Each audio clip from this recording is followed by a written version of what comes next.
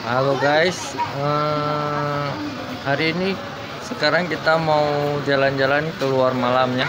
Kita lihat suasana malam Kota Bir. Oke, let's go.